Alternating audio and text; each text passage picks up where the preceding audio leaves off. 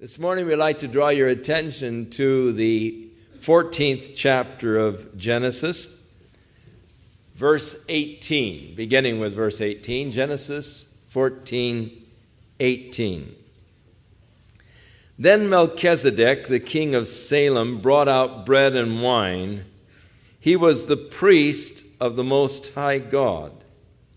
And he blessed Abram and said, Bless Blessed be Abram of God Most High, possessor of heaven and earth.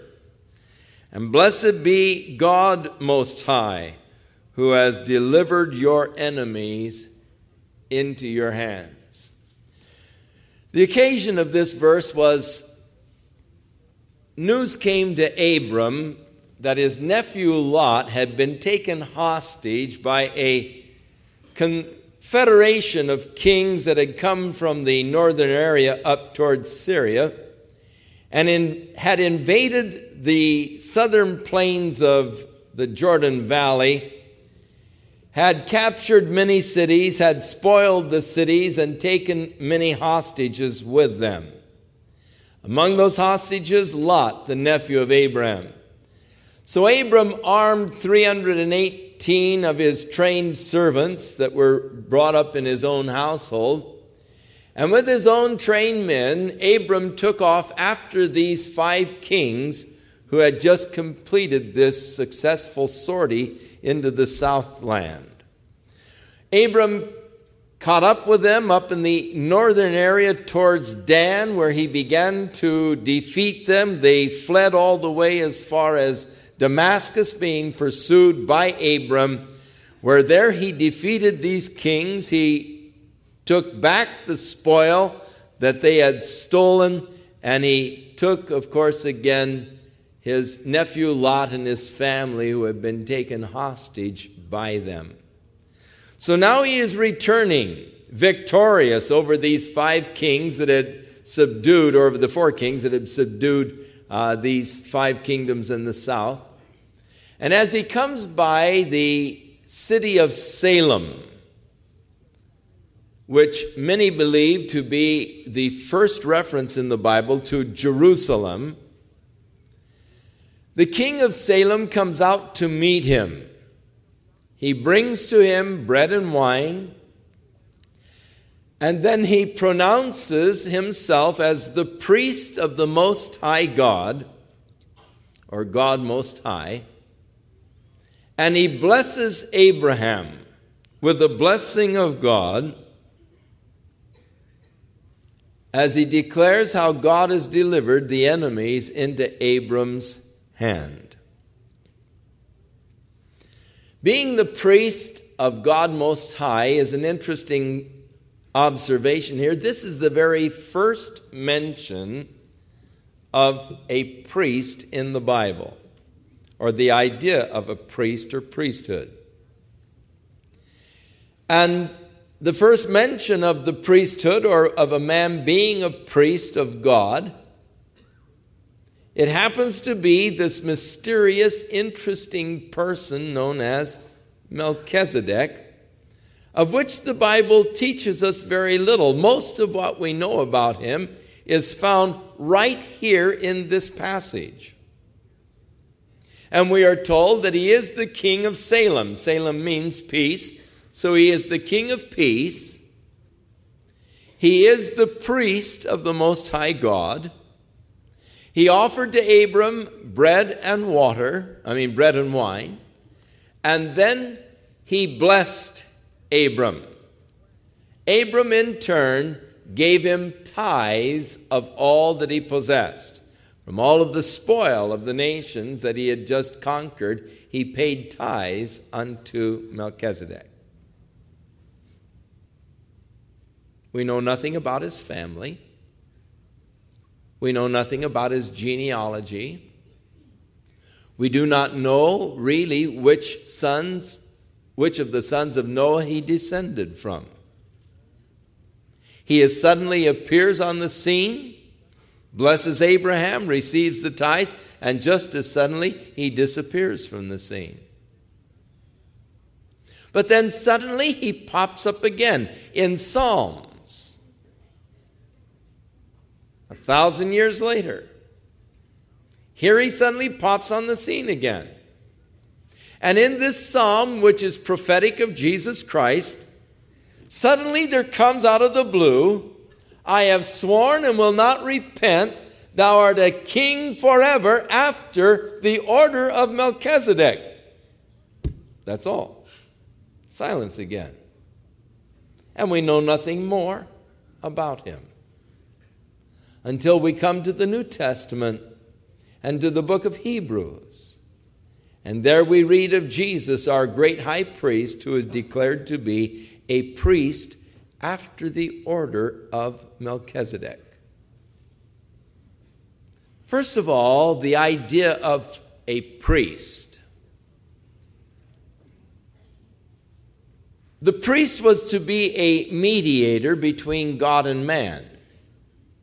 He was a go between.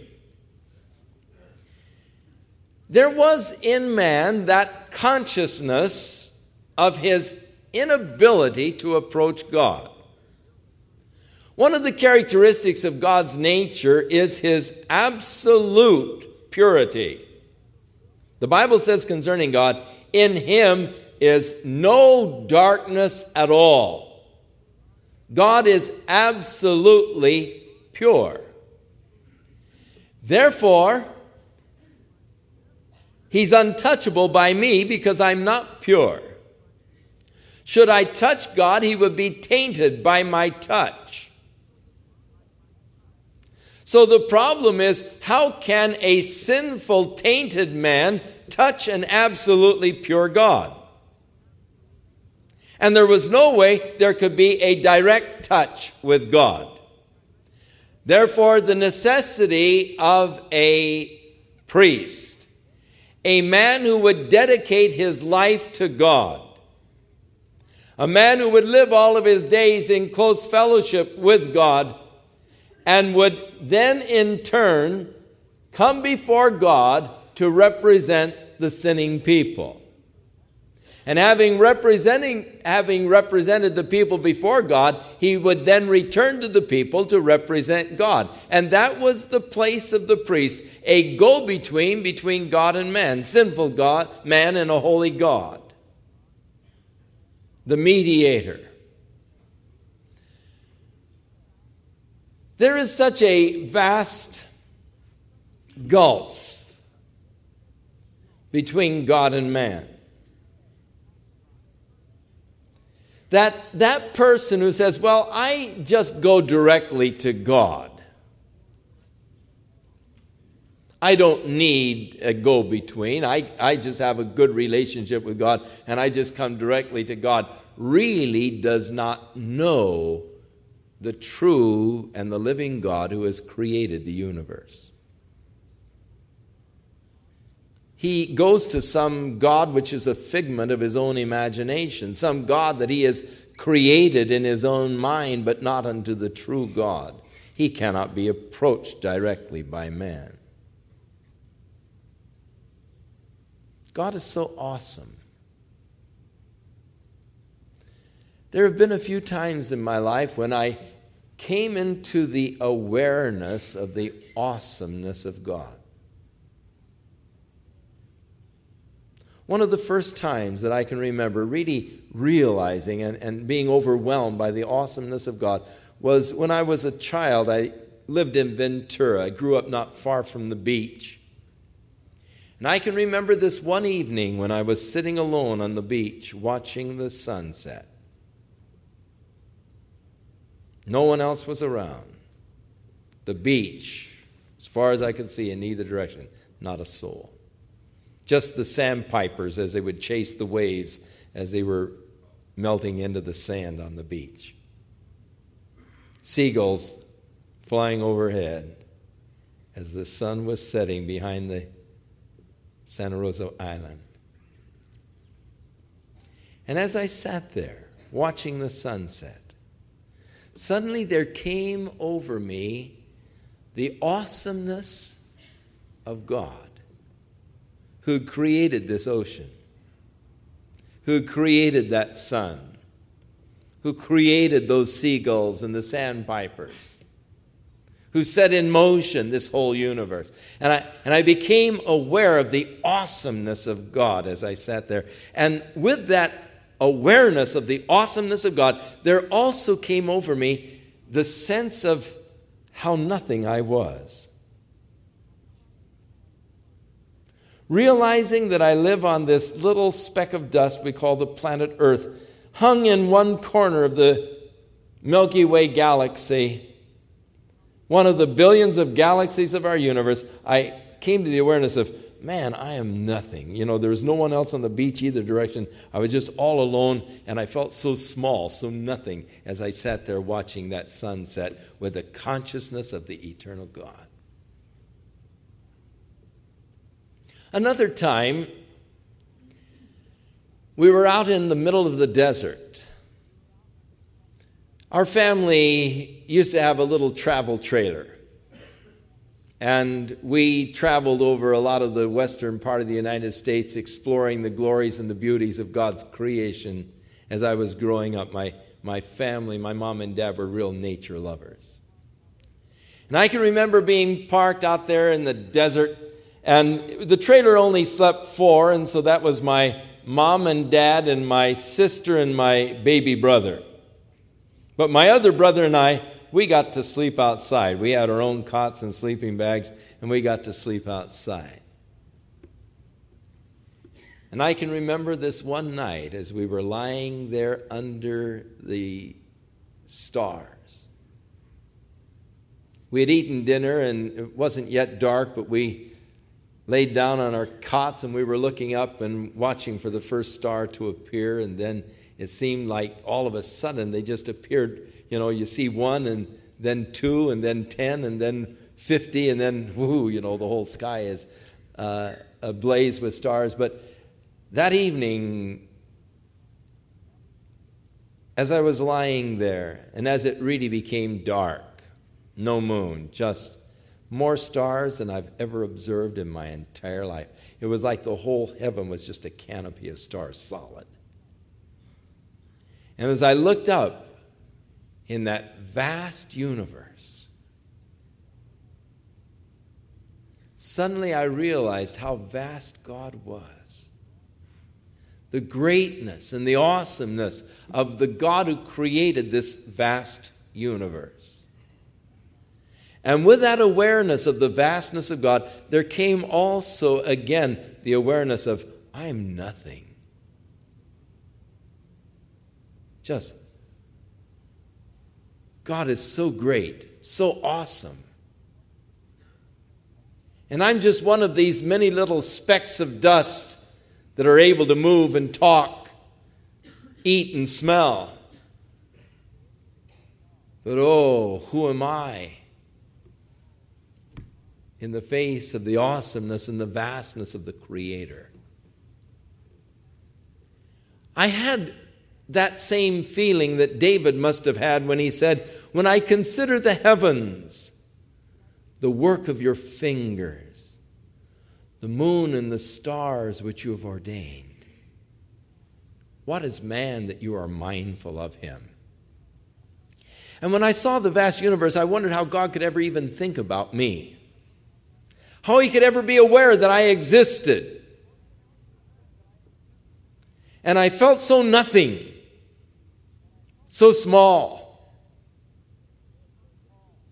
In a sense, so vastly removed from God.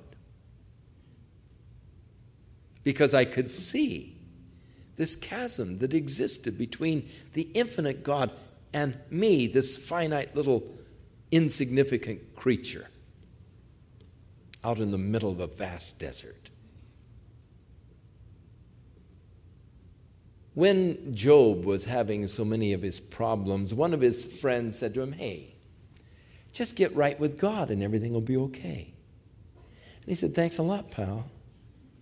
How can I get right with God? I, I observe the universe that He has created and I, and I see the stars and all, but I can't see Him. I know He is there, but I can't see Him. And when I look at the vastness of the universe, I'm nothing.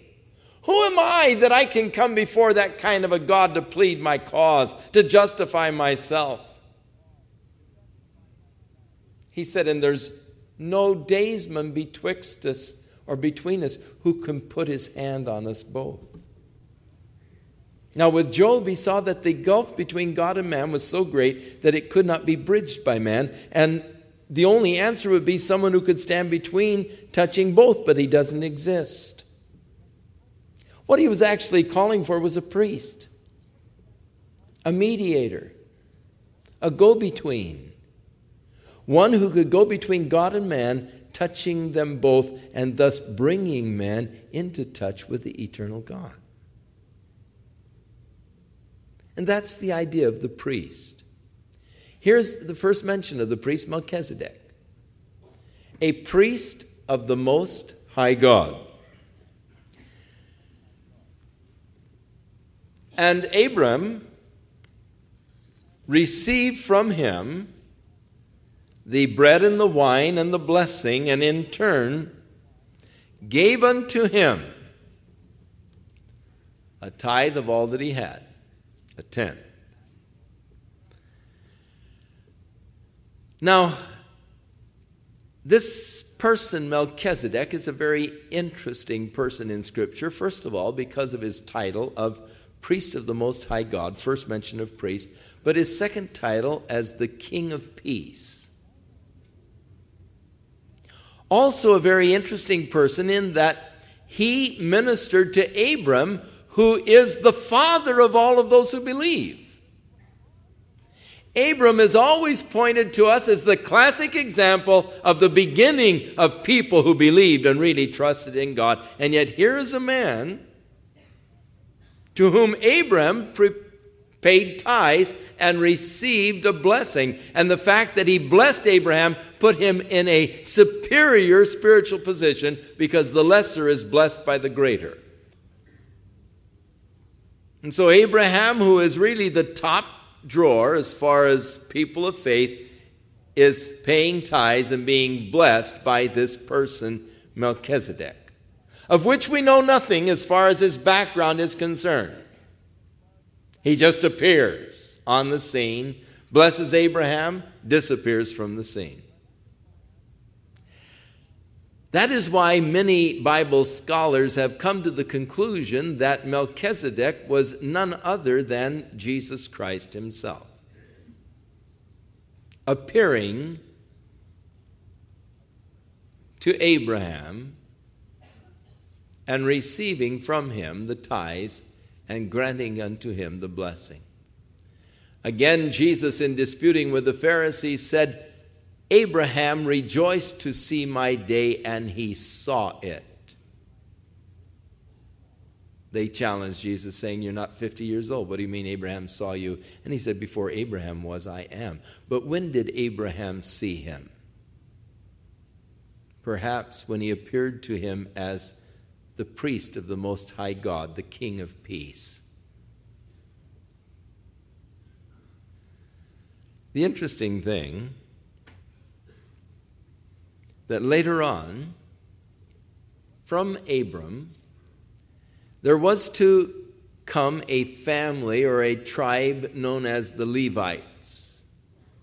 One of the sons of Jacob was named Levite, and later on, God chose this particular tribe to be the priestly tribe to the nation of Israel. They were the ones that were chosen to represent the people before God.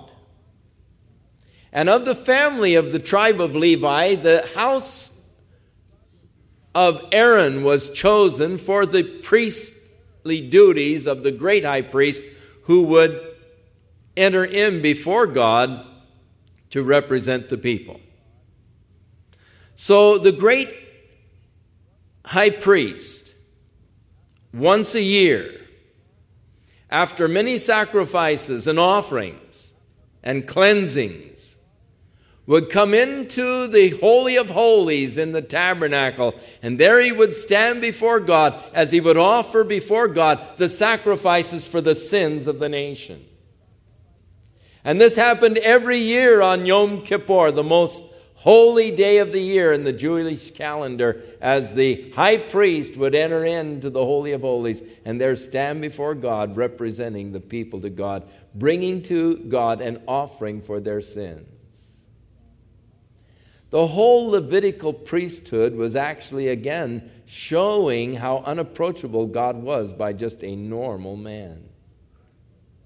How that a man, a sinful man, could not approach God. And on that day of atonement, as the high priest would first of all make sacrifices for his own sins, as he would bathe in the laver and change his garments and all, and went through all of this preparation before he finally went into the Holy of Holies for the sins of the nation, the people realized how holy God was and how unapproachable he was by sinful man.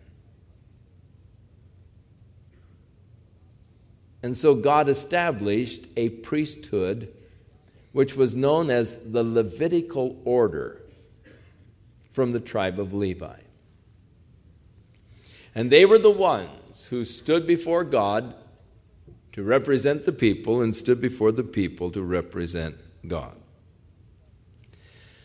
Now, as we come to the New Testament, we read that Jesus is our great high priest. Immediately, the Jew would object. He would say, How can Jesus be your high priest? He's not of the tribe of Levi, he's of the tribe of Judah. And not being a Levi, it would be impossible for him to be a priest. After they returned from their Babylonian captivity, there were those who sought to uh, enter the priesthood, but they could not prove their genealogy, and thus they were excluded from the priesthood. They didn't keep the family records during that 70 years, and thus they were excluded from the priesthood because they couldn't prove that they were of the tribe of Levi. Very important thing if you're going to be a priest. And so, in presenting Jesus as our great high priest, it declares that he is of a different order than the Levitical order. He is a priest forever after the order of Melchizedek. This interesting priest that actually preceded the order of Levi the first priest mentioned in the Bible, the priest who was superior to Abraham and thus superior to any descendant of Abraham. So, though Jesus was not of the tribe of Levi, but of the tribe of Judah, and as being from the tribe of Judah, could claim the kingship and becomes the king of peace, Yet he is a priest also, but after the order of Melchizedek, the superior priesthood. Now, in Psalm 110 again, this interesting prophecy Thou hast sworn and will not relent, Thou art a priest forever after the order of Melchizedek. Why would the psalmist declare that? Concerning the Messiah. Out of the blue, there it comes, only by inspiration of God. There are interesting similarities between Jesus and Melchizedek. Melchizedek offered to Abram what? Bread and wine. And you remember when Jesus had gathered with his disciples, he took the bread and he broke it and he offered it to them and he said, Take, eat, this is my body. And then he took the cup and he offered it to his disciples and he said, This cup is a new covenant in my blood, which is shed for the remission of sins. Jesus, a priest forever after the order of Melchizedek. And as a priest, his duty is to go before God to represent me. And then he comes to me to represent God. He has bridged this vast chasm between God and man. As Job cried for the daysman who could lay his hand upon us both and could not find one, Jesus has become just that. Being in the form of God and not thought, not thinking it robbery to be equal with God, he came in the form of flesh. John said, We saw him, we gazed upon him, we touched him. That eternal one. And so he lays his hand upon God, being one with God. But having become a man, he lays his hand upon me. And through Jesus Christ, I have been brought in touch with God. He is the mediator, the daysman. And so Jesus Christ abolished the priesthood of the Levitical order or of any other order, becoming the great high priest. For there is only one God and one mediator between God and man, the man Christ Jesus. That is, there's only one true God. There are many false gods, but only one true God, and there's only one mediator between the true God and man, and that is Jesus Christ.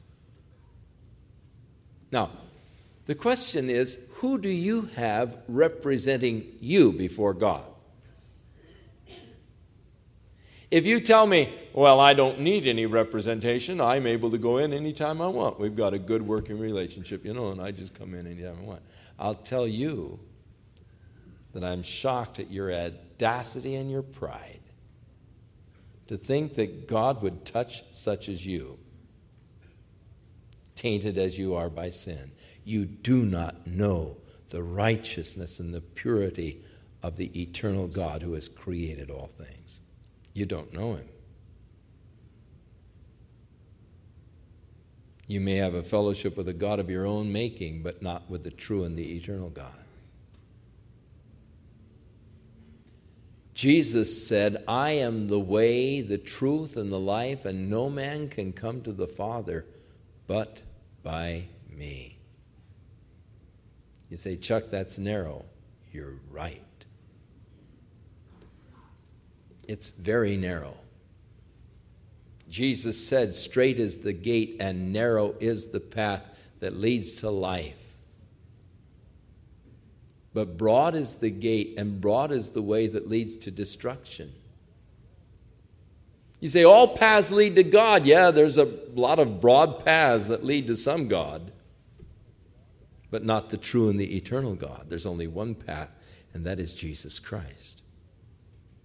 He is our great high priest who has entered into heaven for us, and he is therefore able to save to the uttermost all who will come unto God by him, seeing that he ever lives to make intercession for them. You cannot really appear before God without representation. I'm glad that I have Jesus representing me, my great high priest a priest after the order of Melchizedek, who ministers to me of his life and who blesses me as Abram was blessed by Melchizedek. I'm so glad for Jesus Christ, my representative. Shall we pray? Father, we thank you for the provisions that you have made for us through Jesus. That we don't have to try and come on our own or stand on our own, but we stand before you in Christ.